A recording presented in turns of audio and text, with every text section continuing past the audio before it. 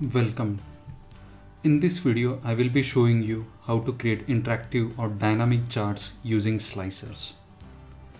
When we are presenting data in charts, it is always comes to our mind how this chart will look for this particular region or for that particular period or for that particular division or etc.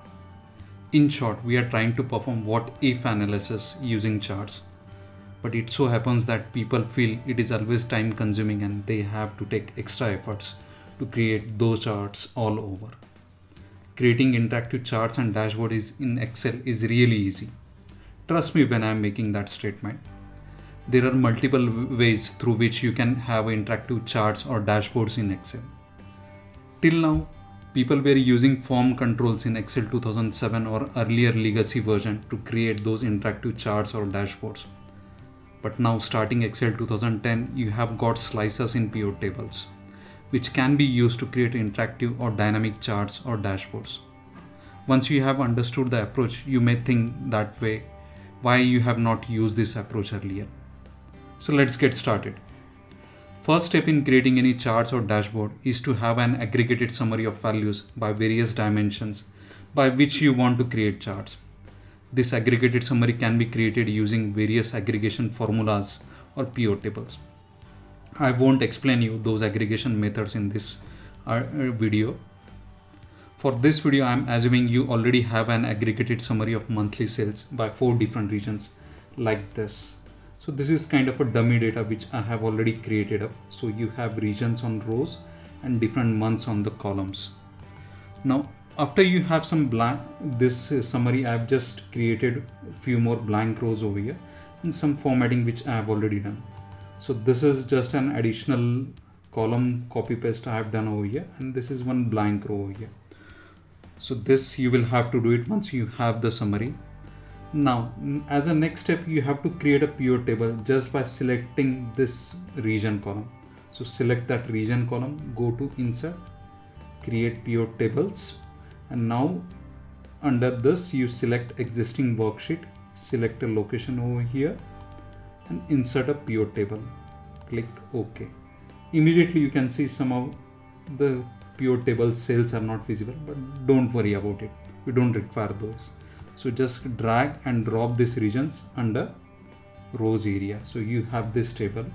Pivot tables created. Now let's go to the pivot table design and turn off the grand totals and report table in tabular format.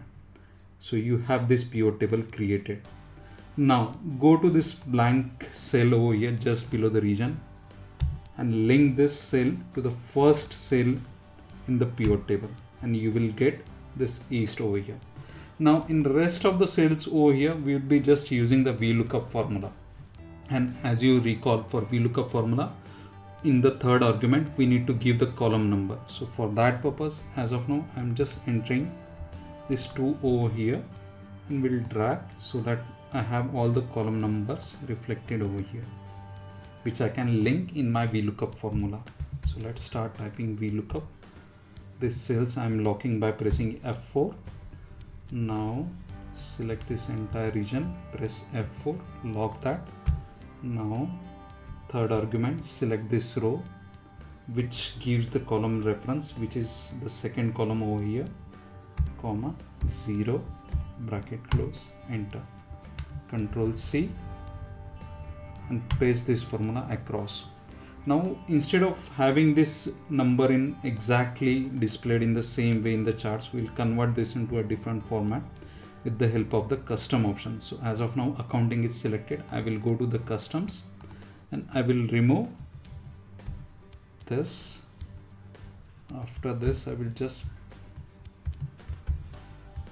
insert this K same way over here as well. You can insert it. Just delete this hash mark and a zero. And your sample number will be displayed over here. I think the space is not required. So let's let us delete the space.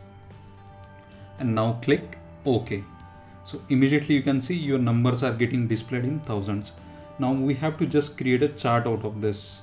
So let's select this and press alt f11 and immediately a bar chart will be created. So i have this blank region over here created already. So I will just drag this chart over here resize a little bit. And we'll change the formatting will select this and immediately you can see this chart has got the details from this sales. Now we have to create an interactive using slicer. So click any of the cell in this pivot table region. Immediately you will see this pivot table analyze and design tab are activated. Go to analyze and click insert slicers. Click this and click ok. Immediately you can see the slicer is populated. So let us resize a little bit.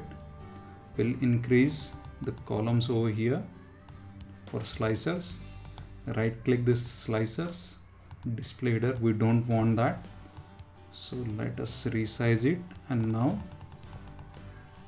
drag over here. Let us resize a little more so that it looks nice. Let us resize the charts as well so now immediately you can see the slicers is inserted over here and when I click east only the east data is reflected when I click north immediately the north data is selected even for the south as well as for the west now we want this heading for the charts are also interactive based on our slicer selections. So for that we have to link to a particular cell. In this cell heading I will just start typing cells for the region. Space blank. And and we will click to this particular cell just below the region and press enter. And you will see this cell is will reflect based on our slicer selection. Now even for this heading you can just click that chart title click is equal to in the formula bar and link to this particular cell and you will see that our chart heading is also now interactive based on our slicer selection so you click this east region immediately you will have this chart even for north region even for south and even for west now you can see how easy it was to create this interactive charts. There are multiple different options which you can use this technique and have more interactive charts in your display. That's it like from my side. Thanks a lot for watching. Please subscribe if you like the video. Bye. See you next time.